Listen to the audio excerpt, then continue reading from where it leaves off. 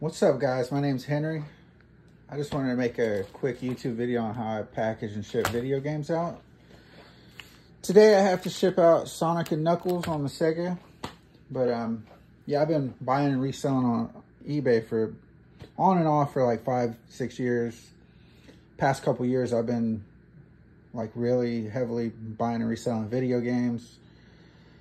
But yeah, like I said, just want to make a quick video on how to package and ship video games. I know most people, I know there's videos out there, most people use uh, padded poly mailers. They use the, the paper or the um, cardboard mailer mailers, but we don't have those today. We have, if you have bubble wrap, a regular poly mailer, and some couple sheets of paper, that's all you'll need and some tape, of course. So let's get to it.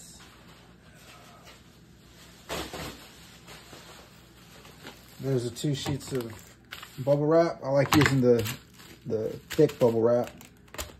I think they call it like the medium sized bubble wrap.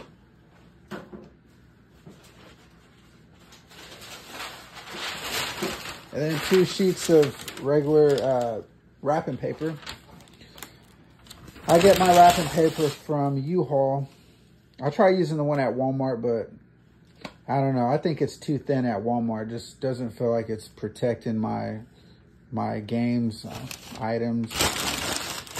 But like I said, U-Haul. I just I've I've been using a lot of U-Haul stuff for the past couple years, so it's worked out for me. Actually, usually I'll throw the game down first. Put the wrapping paper on top and then start rolling.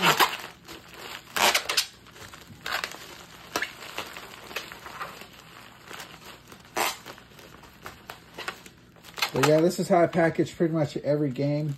Um, Xbox, PlayStation,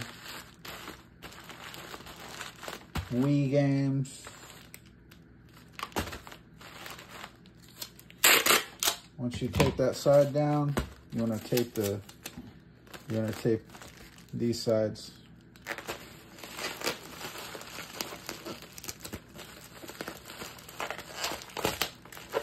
That side tape down. Take this side down. Where's that game at?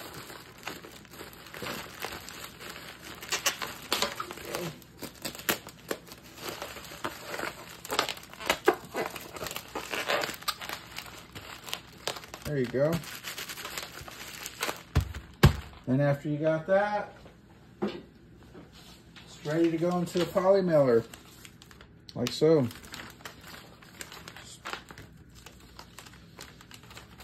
With your Sega and like your N64 games, you know, they're able to fit in there pretty good sideways. Sometimes it's a little snug, but... And with the Xbox and PlayStations, of course, you have to put it in a long ways. But yeah, what I didn't mention was I like to use uh, clear bags, you know, to put the games in because, you know, it looks more professional. My opinion, and also... Uh, it keeps it keeps the air trapped in inside the inside the bag with the game. Kind of keeps it better protected.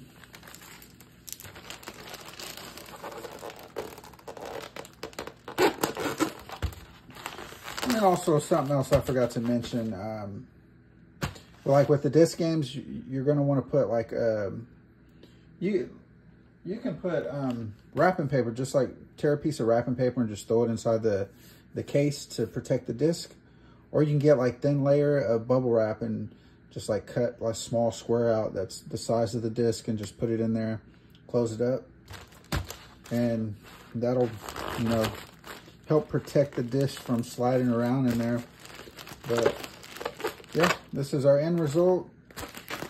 Packed pretty good yeah, if you like this video, please like and subscribe. This video was helpful. You know, give me a thumbs up. Maybe I'll make more videos like this in the future. But yeah.